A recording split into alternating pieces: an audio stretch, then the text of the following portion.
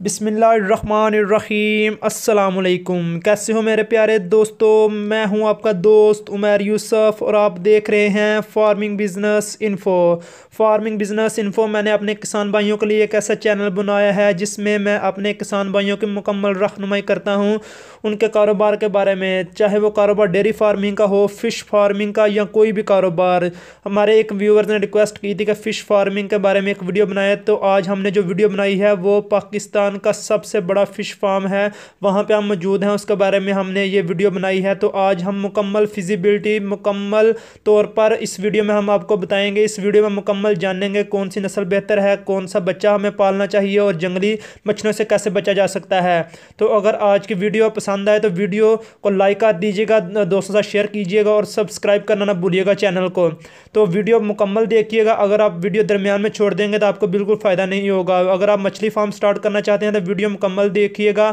تو چلے آئیے آج ٹائم ضائع کیے بینا آج کی ویڈیو سٹارٹ کرتے ہیں اور آپ کے ساتھ فش فارمنگ کے بارے میں جو جو معلومات ہے وہ آپ کے ساتھ شیئر کرتے ہیں۔ اور آپ کو بتائیں گے کہ فش فارمنگ کیسے سٹارٹ کی جا سکتی ہے۔ تو چلے آئیے آج کی ویڈیو سٹارٹ کرتے ہیں اور پیارے بھائی کا انٹرویو کرتے ہیں اور انٹرویو میں جو کویشچن پوچھے جائیں گے وہ آپ کے ساتھ بھی شیئر کریں گے۔ تو چلے آئیے دیکھیے۔ جی وعلیکم السلام۔ انکل جی کیسے ہیں؟ جی بہت ٹھیک۔ انکل جی ناظرین کو اپنا تعارف کروا دیں۔ جی شفاق احمد حبیب پر شفاق احمد حبیب پر انکل جی یہ فش فارمنگ کا کاروبار کب سے کر رہے ہیں آپ؟ جی اٹھ نو سال سے۔ آٹھ نو سال ہو جی جی۔ اچھا آپ نے یہ فش فارم کتنے رقبے میں بنایا ہوا ہے؟ چالیس ایکڑ میں۔ چالیس ایکڑ میں؟ جی جی۔ کتنی گہرائی کا فش فارم ہے؟ ایک ہے کوئی پندرہ سولہ فٹ چودہ فٹ۔ چودہ پندرہ فٹ۔ چودہ فٹ گہرائی کا فش فارم ہے۔ आमतौर पे मैंने देखा है कि फिश फार्म है छह सात आठ फुट के जी जी आपने ज्यादा गहराई का क्यों बनाया ਅਸੀਂ ਤੇ ਰੇਤ ਪੁੱਟੀ ਇੱਥੋਂ ठीक है ਆਪਣਾ ਰਕਬਾ ਸੀ ठीक है ਰੇਤ ਪੁੱਟੀ ਤੇ ਫਿਰ ਦੁਬਾਰੇ ਰਕਬਾ ਤੇ ਬਕਾਰ ਹੋ ਗਿਆ ਸੀ ਤੇ ਅਸੀਂ ਵਿੱਚ ਮਛਲੀ ਦਾ ਕਾਰੋਬਾਰ ਸ਼ੁਰੂ ਕਰ ਲਿਆ ਅੱਛਾ ਤੇ ਤਜਰਬਾ ਕੈਸਾ ਰਿਹਾ ਫਿਰ ਤਜਰਬਾ ਠੀਕ ਹੈ ਬਸ ਕਹਿੰਦੇ ਨੇ ਕਿ ਸਾਡੇ ਇਲਾਕੇ 'ਚ ਸਭ ਤੋਂ ਵੱਡੀਆਂ ਤੇ ਅੱਛੀਆਂ ਮੱਛੀਆਂ ਤੁਹਾਡੇ ਕੋਲ ਮਿਲਦੀਆਂ ਨੇ ਜੀ ਜੀ ਤੇ ਇਹਦੇ 'ਚ ਕੀ ਸਦਾਕਤ ਹੈ ਦਰੁਸਤ ਗੱਲ ਹੈ ਜੀ ਜੋ ਮੱਛੀ ਜਿਹੜੀ ਪੁਰਾਣੀ ਰਹਿ ਜੇ ਨਾ ਇਹ 2-3 ਸਾਲ ਦੀ 4 ਸਾਲ ਪੁਰਾਣੀ ਹੋ ਜੇ ਉਹ ਫਿਰ ਵੱਡੀ ਹੋ ਜਾਂਦੀ ਹੈ। ਤੇ ਜ਼ਾਹਰ ਵਿੱਚ ਵੱਡਾ ਫਾਰਮ ਹੈ ਤੇ ਕੋਈ ਰਹਿ ਜਾਂਦੀ ਤੁਹਾਡੇ ਕੋਲ ਹਾਈਐਸਟ ਕਿੰਨੇ ਸਾਈਜ਼ ਤੋਂ ਹਾਲੇ ਤੱਕ ਮੱਛੀ ਸੇਲ ਕੀਤੀ ਹੈ? ਇਹ ਅਸੀਂ 13-14 ਕਿਲੋ ਤੱਕ।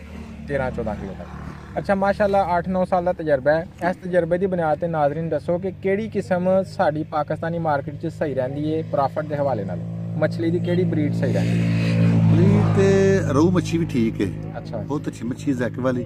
ਗੁਲਫਾਮ ਮੱਛੀ ਅੱਛੀ ਹੈ ਅੱਛਾ। ਸਿਲਵਰ ਵੀ ਉਂਝ ਅਸੀਂ ਪਾਏ ਆ ਵਿੱਚ। ਅੱਛਾ।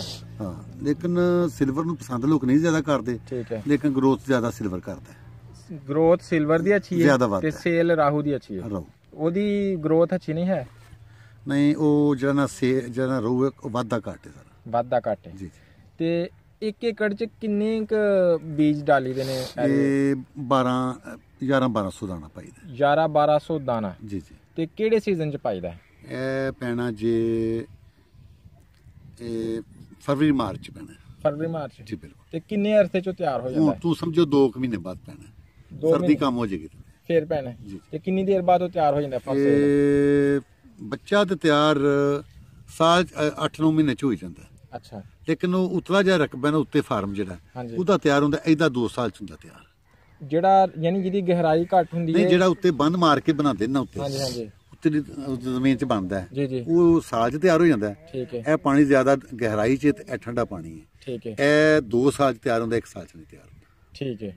ਤੇ ਬਿਹਤਰ ਫਿਰ ਕਿਹੜਾ ਰਹਿੰਦਾ ਹੈ? ਉੱਤੇ ਬੰਨ ਉੱਤੇ ਬਣਾਉਣ ਕੇ ਵਾਲਾ ਬਿਹਤਰ ਹੈ। ਉਹ ਜ਼ਿਆਦਾ ਬਿਹਤਰ ਰਹਿੰਦਾ? ਬਿਹਤਰ ਹੋਵੇ ਠੀਕ ਹੈ। ਇਸ ਸਾਲ ਦੋ ਦੇ ਦੌਰਾਨ ਜਾਂ 8-9 ਮਹੀਨੇ ਜਿਹੜੇ ਉੱਤੇ ਰੱਖਦੇ ਨੇ ਬੱਚੇ ਨੂੰ ਪਾਈਦਾ ਕੀ ਹੈ ਉਹਦੇ ਉਹਦੀ ਗਰੋਥ ਵਾਸਤੇ ਨੂੰ ਕੀ ਖਿਲਾਈਦਾ ਇਹਨੂੰ ਚਾਵਲਾਂ ਦਾ ਪਾਊਡਰ ਪਾਈਦਾ ਠੀਕ ਹੈ।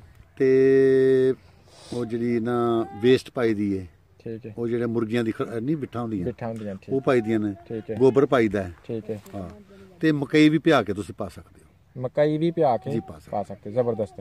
ਤੇ ਕਿੰਨੀ ਕੁ ਮਿਕਦਾਰ ਚ ਪਾਣਾ ਹੁੰਦਾ ਇੱਕ ਏਕੜ ਚ? ਇਹ ਤੁਸੀਂ ਨਾ ਉਹ ਤੇ ਇੰਨਾ ਨਹੀਂ ਕੋਈ ਇੰਨਾ ਹੀ 10 20 ਦਾਬੜੇ ਰੋਜ਼ਾਨਾ 10 20 ਦਾਬੜੇ ਰੋਜ਼ਾਨਾ ਗੋਬਰ ਤੁਸੀਂ ਇੱਕ ਏਕੜ ਚ ਪਾ ਸਕਦੇ ਹੋ। ਠੀਕ ਹੈ। ਹਾਂ ਤੇ ਉਹ ਅਸੀਂ ਤੇ ਇਸ ਤਰ੍ਹਾਂ ਹੀ ਪਾਉਂਦੇ ਇਹ ਸਾਡਾ 40 ਏਕੜ ਇਹਨਾਂ ਤੇ ਅਸੀਂ 5-7 ਤੋੜੇ ਰੋਜ਼ ਦੇ ਪਾਊਡਰ ਦੇ ਪਾਉਣੇ ਪਾਊਡਰ ਤੇ? ਜੀ ਬਿਲਕੁਲ। ਯਾਨੀ ਸਾਰੀ ਚੀਜ਼ਾਂ ਮਿਕਸ ਕਰਕੇ ਪਾਈ ਦੇਣੀ ਕਿ ਇੱਕ ਇੱਕ? ਨਹੀਂ ਤੁਸੀਂ ਰਹਿਦਾ ਪਾ ਸਕਦੇ ਹੋ ਆਟਾ ਵੱਖਰਾ ਪਾ ਸਕਦੇ ਹੋ ਹੂੰ। ਮਕਈ ਦਾ। ਹੂੰ।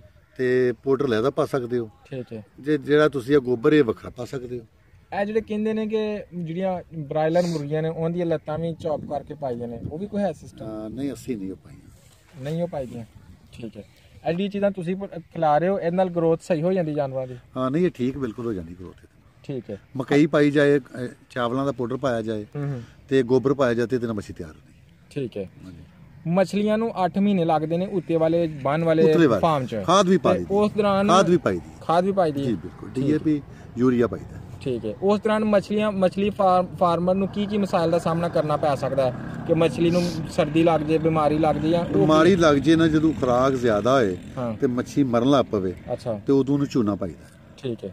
ਖੁਰਾਕ ਜ਼ਿਆਦਾ ਦੇ ਚੂਨਾ ਤੁਸੀਂ ਪਾ ਦਿਓ ਅੱਛਾ। ਤੇ ਉਹ ਪਾਣੀ ਨੂੰ ਸਾਫ਼ ਕਰ ਦੇਗਾ। ਪਾਣੀ ਗੰਦਾ ਹੋ ਜਾਂਦਾ ਖੁਰਾਕ ਜ਼ਿਆਦਾ ਨਾਲ ਹਾਂ ਹਾਂ। ਤੇ ਚੂਨਾ ਪਾਓਗੇ ਪਾਣੀ ਸਾਫ਼ ਹੋ ਜਾਏਗਾ। ਬਾਰਿਸ਼ਾਂ ਠੀਕ ਹੋ ਜਾਂਦੀ ਹੈ। ਫਿਰ ਠੀਕ ਹੋ ਜਾਂਦੀ। ਹਾਂ ਬਾਰਿਸ਼ਾਂ ਜਦੋਂ ਹੋਣ ਹਾਂ। ਉਦੋਂ ਵੀ ਮੱਛੀ ਨੂੰ ਅਟੈਕ ਹੁੰਦਾ ਹੈ। ਅੱਛਾ। ਹੀ ਤੁਸੀਂ ਚੂਨਾ ਸੱਟ ਮੱਛੀ ਠੀਕ ਹੋ ਜਾਏਗੀ। ਚੂਨੇ ਨਾਲ ਮਾਮਲਾ ਸੈੱਟ ਹੋ ਜਾਂਦਾ? ਬਿਲਕੁਲ ਠੀਕ। ਹੈ ਕਿੰਨਾ ਕੁ ਚੂਨਾ ਪਾਣਾ ਚਾਹੀਦਾ ਏਕੜ 'ਚ? ਉਹ ਤੇ 1 ਏਕੜ ਚ ਤੁਸੀਂ ਇੱਕ ਤੋੜਾ ਪਾ ਦੇਣਾ। ਇੱਕ ਤੋੜਾ?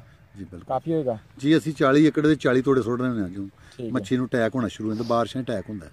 ਠੀਕ ਹੈ। ਅੱਛਾ ਇਹਦੇ 'ਚ ਉਹਦੀ ਇੱਕ ਏਕੜ ਦੀ ਨਿਗਹਦਾਸ਼ਤ ਕਰਨ ਵਾਸਤੇ ਜਾਂ ਇੱਕ ਬੰਦਾ ਕਿੰਨੀ ਏਕੜ ਦੀ ਨਿਗਹਦਾਸ਼ਤ ਕਰ ਸਕਦਾ ਇਸ ਤਰ੍ਹਾਂ ਦਾ? ਇੱਕ ਜਿਹੜਾ ਸੰਭਾਲ ਕਰ ਸਕਦਾ। ਹੈ ਹਾਂ ਹਾਂ। ਅਹ ਇੱਕ ਬੰਦਾ ਹੀ ਬੜਾ ਹੈ ਕਾਫੀ। ਇੱਕ ਏਕੜ ਤੇ ਇੱਕ ਬੰਦਾ ਕਾਫੀ ਹੈ? ਨਹੀਂ। ਹੂੰ। ਇੱਕ ਬੰਦਾ ਹੀ 40 ਏਕੜ ਦੀ ਅਹ, ਕਰ ਸਕਦਾ ਜ਼ਿੰਮੇਵਾਰੀ ਪੂਰੀ। 40 ਏਕੜ ਦੀ? ਜੀ ਬਿਲਕੁਲ। ਜ਼ਿੰਦਾਬਾਦ। ਯਾਨੀ ਫਿਰ ਸਾਡਾ ਤੇ ਇੱਕ ਬੰਦਾ 40 ਏਕੜ ਨੂੰ ਸੰਭਾਲ ਸਕਦਾ। ਯਾਨੀ ਕਹਿਣ ਦਾ ਮਤਲਬ ਕਿ ਇਹ 'ਚ ਲੇਬਰ ਬਹੁਤ ਘੱਟ ਦਰਕਾਰ ਨਹੀਂ, ਬਹੁਤ ਘੱਟ ਇਹ 'ਚ ਲੇਬਰ ਇਸ਼ੂ ਨਹੀਂ ਹੈ। ਨਹੀਂ ਕੋਈ ਨਹੀਂ ਇੰਨਾ। ਜ਼ਬਰਦਸਤ। ਤੇ ਇਹਦੇ 'ਚ ਖਰਚਾ ਕਿੰਨਾ ਆ ਜਾਂਦਾ ਇੱਕ ਏਕੜ 'ਚ ਸਾਲ ਦਾ 8 ਮਹੀਨੇ ਦਾ?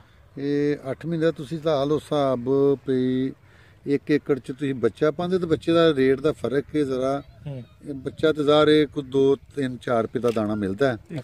ਕੁਝ ਮੱਛੀ ਐਸੀ ਵੀ ਅੱਛਾ ਸਰ ਤੁਸੀਂ ਦੱਸ ਰਹੇ ਹੋ ਖਰਚੇ ਦੇ ਬਾਰੇ 'ਚ ਤੇ ਤੁਸੀਂ ਦੱਸ ਰਹੇ ਹੋ ਕਿ ਇਹਦੇ ਦਾਣੇ ਤੇ ਡਿਪੈਂਡ ਕਰਦਾ ਉਹਦੇ ਡਿਮਾਂਡ ਜੀ ਬਿਲਕੁਲ 1 ਰੁਪਏ ਦਾ 1 ਇੰਚ ਦਾ ਦਾਣਾ ਹੋਏ ਨਾ ਸਿਲਵਰ ਜਿਹੜਾ ਜਿਹੜਾ ਹੈ ਉਹ 50 ਪੈਸੇ ਦਾ ਵੀ ਮਿਲ ਜਾਂਦਾ ਹੈ। ਠੀਕ ਹੈ। 2 ਰੁਪਏ ਦਾ 2 ਇੰਚ ਦਾ ਹੋ ਜਾਣਾ ਜਦੋਂ ਇੱਕ ਪੀਸ ਠੀਕ ਹੈ। ਇੱਕ ਜਾਨਵਰ 2 2 ਇੰਚ ਦਾ ਉਹ 2.5 3 ਰੁਪਏ ਦਾ ਵੀ ਮਿਲਦਾ। ਠੀਕ ਹੈ। ਆ ਤੇ ਜੇ 5 ਇੰਚ ਦਾ ਹੋਏ ਤੇ 10 ਰੁਪਏ ਦਾ ਮਿਲਦਾ। ਠੀਕ ਹੈ। 15 20 25 30 ਰੁਪਏ ਤੱਕ ਦਾਣਾ ਮਿਲਦਾ। ਹੈ। ਇੱਕ ਰੇਟ ਨਹੀਂ ਹੁੰਦਾ ਦਾ ਠੀਕ ਹੈ।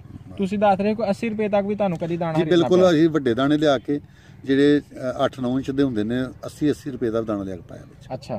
ਤੇ ਫਿਰ ਓਵਰਆਲ ਕਿੰਨਾ ਕੁ ਖਰਚਾ ਬਣ ਜਾਂਦਾ? ਸਿਰਫ ਦਾਣੇ ਦਾ ਖਰਚਾ ਹੁੰਦਾ ਇਸ ਤੋਂ ਇਲਾਵਾ ਹੋਰ ਕੋਈ ਨਹੀਂ? ਨਹੀਂ ਉਸ ਤੋਂ ਬਾਅਦ ਤੁਸੀਂ ਲਿਆਣਾ ਕਿ ਤੂੰ ਗੱਡੀ ਦਾ ਖਰਚਾ ਪੈਣਾ ਹੈ ਖਰਚ ਪੈਣੀ ਹੈ। ਠੀਕ ਹੈ। ਤੇ ਉੱਥੋਂ ਖਰੀਦ ਕੇ ਲਿਆਉਣਾ ਗਿਣ ਕੇ ਲਿਆਉਣਾ ਹੈ। ਠੀਕ ਹੈ। ਆ ਤੇ ਬੰਦੇ ਤੁਸੀਂ ਉੱਥੋਂ ਨਾ ਗਿਣ ਦੇਣਾ ਇੱਥੇ ਲਿਆ ਕੇ ਬੰਦੇ ਤੁਹਾਡੇ ਹੋਣੇ ਚਾਹੀਦੇ ਨਾਲ। ਠੀਕ ਹੈ। ਜਿਨ੍ਹਾਂ ਵਿੱਚ ਮੱਛੀ ਦਾ ਬੱਚਾ ਤਲਾਵਾਂ ਦੇ ਵਿੱਚ ਡਾਲ ਦੇਣਾ। ਠੀਕ ਹੈ। ਤੇ ਉਸ ਤੋਂ ਬਾਅਦ ਤੁਸੀਂ ਖੁਰਾਕ ਪਾਣੀ ਹੈ ਠੀਕ ਹੈ। ਹਾਂ। ਤੇ ਉਹ ਸਾਰਾ ਕੁਝ ਪਾ ਕੇ ਤੇ ਕਿੰਨਾ ਖਰਚ ਹੋ ਜਾਂਦਾ ਸਾ ਇੱਕ ਹਾਂ, ਖਰਚ ਦਾ ਤੇ ਵੇਖੋ ਇਹ ਹਿਸਾਬ ਅਸਾਂ ਨਹੀਂ ਕੱਢਿਆ। ਠੀਕ ਹੈ। ਵੀ ਕਿੰਨਾ ਕੁ ਦਾ ਦੋ ਹਿਸਾਬ ਇਹਨਾਂ ਵੀ ਫਰਕੋ ਫਰਕੀ ਮੱਛੀ ਦਾ ਬੱਚਾ ਹੁੰਦਾ। ਠੀਕ ਹੈ। ਵੀ 500 ਰੁਪਿਆ ਅ, 500 ਦਾਣਾ ਅਸੀਂ ਪਾ ਦਿੰਦੇ ਹੁੰਦੇ ਆ ਰਹੂ ਦਾ। ਠੀਕ ਹੈ।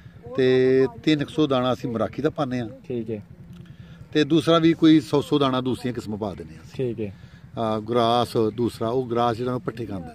ਠੀਕ ਹੈ। ਗਰਾਸ ਮੱਛੀ ਅਗਰ ਤੁਸੀਂ ਪਾਣੀ ਵੀ ਤਲਾ ਦੇ ਤਾਂ ਪੱਠੇ ਖਾਂਦੀ ਹੈ। ਠੀਕ ਹੈ। ਪੱਠੇ ਬੀਜ ਕੇ ਪਾਣੇ ਨੂੰ। ਠੀਕ ਹੋ ਗਿਆ। ਆ ਤੇ ਉਹ ਫਰ- ਫਰਕੋ ਫਰਕੀ ਰੇਟ ਏਡਾ ਮਹਿੰਗਾ ਬੱਚਾ ਨਹੀਂ ਹੁੰਦਾ ਠੀਕ ਹੈ। ਜਿੰਨਾ ਖਰਚ ਲੋਕ ਸਮਝਦੇ ਉਹਨਾਂ ਨਹੀਂ ਪੂਰਾ ਹੀ ਖਰਚ। ਹੈ। ਠੀਕ ਹੈ। ਹਾਂਜੀ। ਸਾਲ ਬਾਅਦ ਕੁਝ ਬਚ ਵੀ ਜਾਂਦਾ ਕਿ ਸਾਲ ਬਾਅਦ ਬਚਦੇ ਨੇ ਪੈਸੇ ਜਿਹੜੇ ਮਿਹਨਤ ਕਰਦੇ ਬੜੇ ਪੈਸੇ ਬਚਦੇ ਨੇ। ਨਵੇਂ ਦੋਸਤਾਂ ਨੂੰ ਜਿਹੜੇ ਇਸ ਫੀਲਡ 'ਚ ਆਉਣਾ ਚਾਹੁੰਦੇ ਨੇ ਹਾਂਜੀ। ਉਹਨਾਂ ਨੂੰ ਤੁਸੀਂ ਕੀ ਰਿਕਮੈਂਡ ਕਰੋ ਕਿ ਨੌਜਵਾਨ ਇਹ ਕਾਰੋਬਾਰ ਦਿਲ ਖੋਲ ਕੇ ਕਰ ਸਕਦੇ ਨੇ? ਮਤਲਬ ਇੱਕ ਹੁੰਦਾ ਨਾ ਟੈਨਸ਼ਨ ਕਿ ਰਿਹਾ ਮੈਨੂੰ ਕੁਝ ਬਚਣਾ ਜੀ ਕਿ ਕਰਨ ਦੇ ਕੀ ਫਾਇਦਾ ਹੋਏਗਾ। ਫਾਇਦਾ ਹੋਏਗਾ? ਠੀਕ ਕਾਰੋਬਾਰ ਹੈ। ਜੀ ਬਿਲਕੁਲ। ਅੱਛਾ ਜੀ ਇੱਕ ਹੁੰਦਾ ਇਸ਼ੂ ਹੁੰਦਾ ਅੱਜ ਕੱਲ ਕਿ ਜੰਗਲੀ ਮੱਛਲੀ ਆ ਜਾਂਦੀ ਹੈ। ਉਹਦੇ ਵਾਸਤੇ ਅਹ, ਕੋਈ ਕਿਸਮ ਹੈ ਮੱਛੀ ਦੀ ਜਿਹੜੀ ਨਹੀਂ ਜੰਗਲੀ ਮੱਛੀ ਇਹਦੇ ਵਿੱਚ ਨਹੀਂ ਪਾਈਦੀ।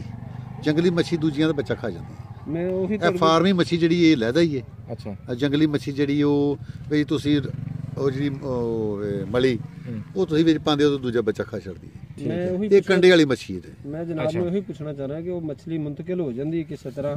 ਉਹਦਾ ਕੀ ਤਰੀਕੇਕਾਰ ਉਹਨੂੰ ਖਤਮ ਕਰਨ ਦਾ ਕੀ ਕਰਦੇ ਹੋ? ਆ, ਉਹ ਖਤਮ ਨਹੀਂ ਹੁੰਦੀ।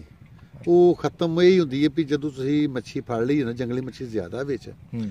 ਤੋ ਤੂੰ ਅਬਲ ਤੇ ਫੜ ਕੇ ਹੀ ਠੀਕ ਨਹੀਂ ਤੇ ਦਵਾਈ ਪਾ ਕੇ ਬਾਅਦ 'ਚ ਖਤਮ ਕਰ ਲਓ। ਅੱਛਾ ਉਹਦੀ ਲੈਦਾ ਦਵਾਈ ਮਿਲ ਜਾਂਦੀ। ਹਾਂ ਬਾਅਦ ਚ ਐਂਡ ਤੇ ਤੁਸੀਂ ਦਵਾਈ ਪਾਣੀ ਕੋਈ ਤਾਂ ਤਾਂ ਖਤਮ ਹੋਣੀ ਹੈ। ਤੇ ਨਹੀਂ ਤੇ ਜਾਲਾਂ ਨਾਲ ਫੜ ਕੇ ਹੀ ਖਤਮ ਹੋ ਜੀ। ਠੀਕ ਹੋ ਗਿਆ। ਅਗੋ ਤੁਸੀਂ ਉਹ ਕਿਹੜਾ ਵਿੱਚ ਆ ਜਾਣੀ ਤੋਂ ਬਾਅਦ ਚ? ਠੀਕ ਹੋ ਗਿਆ। ਅੱਛਾ ਸਰ ਜੀ। ਬੱਚਾ ਕਿਤੋਂ ਮਿਲਦਾ ਅੰਕਲ ਜੀ ਵੀ ਦੱਸ ਦਿਓ। ਇਹ ਅਲੀਪੁਰ ਵਾਲੇ ਮਿਲਦਾ ਹੈ ਐਡ ਕਾਦਰਾਬਾਦ ਹੈਡ ਕਾਦਰਾਬਾਦ ਤੋਂ? ਹਾਂ ਉਸ ਸਾਈਡ ਤੇ ਮਿਲਦਾ ਇਹ ਕਿਹੜੇ ਜ਼ਿਲ੍ਹੇ ਚ ਆਉਂਦਾ ਅਲੀਪੁਰ ਇਹ ਵਜ਼ੀਰਾਬਾਦ ਤੋਂ ਅੱਗੇ ਵੇ ਲੈਂਦੇ। ਅਲੀਪੁਰ ਚਿੱਠਾ ਅਲੀਪੁਰ ਛੱਟਿਆ ਉਤੋਂ ਮਿਲਦਾ ਅਲੀਪੁਰ ਛੱਟਿਆ ਅੱਛਾ ਅੱਜ ਕੱਲ ਇੱਕ ਨਵੀਂ ਟੈਕਨੋਲੋਜੀ ਆਈ ਹੈ ਫਿਸ਼ ਫਾਰਮ ਦੀ ਬਾਇਓਫਲਾਕ ਵਾਟਰ ਟੈਂਕ ਦੇ ਜ਼ਰੀਏ ਜਿਹੜਾ ਨਾ ਮੱਛੀ ਪਾਲਦੇ ਨੇ। ਉਹ ਠੀਕ ਰਹਿੰਦਾ ਜਾਂ ਓਪਨ ਵਾਲਾ ਠੀਕ ਨਹੀਂ ਉਹ ਟੈਂਕ ਕਿਹੜਾ ਆਂਦੇ ਨੇ ਕਿ ਟੈਂਕ ਹੁੰਦੇ ਨੇ ਉਹਦੇ 'ਚ ਮੱਛੀ ਪਾਲਦੇ ਨੇ। ਉਹਨੇ ਉਹਦਾ ਨਹੀਂ ਸਾਨੂੰ ਪਤਾ। ਉਹਦਾ ਨਹੀਂ ਪਤਾ। ਯਾਨੀ ਉਹਦਾ ਕੰਪੈਰੀਜ਼ਨ ਨਹੀਂ ਹੈ ਤੁਹਾਡੇ ਕੋਲ ਹੈ। ਠੀਕ ਹੋ ਗਿਆ। ਅੱਛਾ ਅਗਰ ਕਿਸੇ ਦੋਸਤ ਨੂੰ ਮੱਛੀਆਂ ਦਰਕਾਰ ਹੋਣ ਜ਼ਿਆਦਾ ਕੁਆਂਟੀਟੀ ਜਾਂ ਕਿਸੇ ਵਪਾਰੀ ਨੇ ਖਰੀਦੀਆਂ ਹੋਣ ਤੇ ਕਿਆ ਤੁਹਾਡੇ ਨਾਲ ਰਾਬਤਾ ਕਰ ਸਕਦੇ? ਖਰੀਦਣੀਆਂ ਹੁੰਦੇ ਹਾਂਜੀ। ਆ ਚਲੋ ਰਾਬਤਾ ਕਰ ਸਕਦੇ ਨੇ ਸਾਡੇ ਕੋਲ ਜਿੰਨਾ ਚਿਰ ਮੱਛੀ ਹੈ ਸਾਡੇ ਕੋਲ। ਜੀ। ਨਿਕਲਦੀ ਹੈ ਮਹੀਨਾ ਕੁ ਮੱਛੀ ਸਾਡੇ ਕੋਲ। ਠੀਕ ਲੈ ਹੈ ਸਕਦੇ ਨੇ ਆ ਕੇ। ਠੀਕ ਹੈ। ਨੰਬਰ ਦੱਸ ਛੜੋ ਆਪਣਾ। ਨੰਬਰ ਹੈ 0333 ਜੀ। 800 1794706 ਅੱਛਾ ਸਰ ਵੈਸੇ ਤੁਸੀਂ ਆਮ ਤੌਰ ਤੇ ਮੱਛੀਆਂ ਕਿੱਥੇ ਸੇਲ ਕਰਦੇ ਹੋ? ਕੀ ਤਰੀਕੇ ਅਸੀਂ ਨਾਲ ਉਤਲ ਖੜਦੇ ਜੇ ਇਹ ਕੋਟ ਹਰਿਆਲੇ ਐਡ ਕਾਦਰਾਬਾਦ ਵਾਲੀ ਹੈ ਕੋਟ ਹਰਾ। ਮੰਡੀ ਬਾਗਟ ਮੰਡੀ ਹੈ ਠੀਕ ਹੈ ਹਾਂ ਉੱਥੇ ਖੜਦੇ ਨੇ। ਮੰਡੀ 'ਚ ਲੈ ਕੇ ਜਾਂਦੇ? ਜੀ ਬਿਲਕੁਲ ਉੱਥੇ ਮੱਛੀ ਮੰਡੀਆਂ ਨੇ ਬੜੀਆਂ ਜ਼ਿਆਦਾ। ਉੱਥੇ ਰੇਟ ਅੱਛਾ ਮਿਲ ਜਾਂਦਾ? ਜੀ ਰੇਟ ਉੱਥੇ ਮਿਲਦਾ ਇੱਥੇ ਮੱਛੀ ਨਹੀਂ ਇੰਨੀ ਸੇਲ ਹੋ ਸਕਦੀ। ਮੈਂ ਵੇਖਿਆ ਕਿ ਕੁਝ ਗਾਹਕ ਤੁਹਾਡੇ ਕੋਲ ਇੱਥੋਂ ਹੀ ਲੈ ਕੇ ਜਾਂਦੇ ਲੈ ਹਨ। ਕੇ ਜਾਂਦੇ ਨੇ ਇੱਥੇ ਵੀ ਦੁਨੀਆ ਆਂਦੀ ਬੜੀ। ਠੀਕ ਆ ਇਲਾਕਾ ਤਕਰੀਬਨ ਬੜਾ ਆ ਕੇ ਲੈ ਕੇ ਜਾਂਦਾ ਸਾਡੇ ਕੋਲ ਤਾਜ਼ੀ ਮੱਛੀ ਮਿਲਦੀ ਹੈ। ਰਾਹੂ ਦਾ ਕੀ ਰੇਟ ਹੁੰਦਾ? ਹੈ ਦਾ ਮੱਛੀ ਦਾ ਹਿਸਾਬ ਹੁੰਦਾ ਵੀ ਛੋਟੀ ਮੱਛੀ ਉਹਦਾ 200 ਵੱਡੀ ਤੇ 300 ਰੁਪਏ ਵੀ ਰੇਟ। ਕਿਲੋ? ਇੰਨਾ ਥੋੜਾ ਹਾਂਜੀ ਬਈ 200 300 ਰੁਪਏ ਕਿਲੋ। ਸਭ ਤੋਂ ਮਹਿੰਗਾ ਰੇਟ ਕਿਸ ਮੱਛੀ ਦਾ? ਉਹ ਸੌਲ ਦਾ 1000 1200 ਰੁਪਏ ਕਿਲੋ 1200 ਰੁਪਏ ਕਿਲੋ ਤੱਕ। ਆ ਵਿੱਚੋਂ ਆਂਦੀ ਕੋ- ਘੱਟ ਤੁਸੀਂ ਤੁਸੀਂ ਉਹ ਨਹੀਂ ਪਾਉਂਦੇ ਬੀਜ? ਪਾਣੇ ਪਰ ਨਿਕਲਦੀ ਨਹੀਂ ਉਹ ਕਿਉਂ? ਉਹ ਘੱਟ ਹੀ ਪਲਦੀ ਜੇ ਵਿੱਚ ਪਲੀ ਵੀ ਹੋਏ ਤੇ ਉਹ ਜਰਾ ਜਾਲਾਂ ਦੇ ਵਿੱਚੋਂ ਨਿਕਲ ਨਹੀਂ ਸਕਦੀ। ਮਰ ਜਾਂਦੀ? ਐ ਹੁੰਦੀ ਹੈ ਵਿੱਚ ਕੋਈ। ਹਾਂ। ਲੇਕਿਨ ਉਹ ਨਿਕਲਦੀ ਨਹੀਂ ਐਵੇਂ ਜਾਲਾਂ ਨਿਕਲਦੀ ਨਹੀਂ ਉਹ ਕਦੇ ਕੁੰਡੀ ਨਾਲ ਮੱਛੀ ਜ਼ਿਆਦਾ ਫੜੀ ਜਾਂਦੀ ਹੈ। ਸੌਲਾਂ ਦਾ ਫਾਰਮ ਉੱਤੇ ਲੋਕ ਬਣਾਉਣ ਤੇ ਕਾਮਯਾਬ ਹੋ ਹੀ ਜਾਂਦਾ। ਹੂੰ। ਲੇਕਿਨ ਉਹ ਉੱਤੇ ਬਣਾਉਣਾ ਪੈਂਦਾ ਹੈ। ਜਿਹੜਾ ਸਾਡਾ ਇਹਨਾਂ ਉਹ ਵਿੱਚ ਨਹੀਂ ਚੱਲਦਾ। ਮੁਨਾਫਾ ਫਿਰ ਕਿਹੜੀ ਕਿਸਮ 'ਚ ਸਹੀ ਹੁੰਦਾ ਹੈ? ਸੌਲ ਜ਼ਿਆਦਾ ਪਲੇ ਤੇ ਮੁਨਾਫਾ ਬਹੁਤ ਜ਼ਿਆਦਾ। ਸੌਲਾਂ ਦਾ ਫਾਰਮ ਅਸੀਂ ਨਹੀਂ ਬਣਾਇਆ।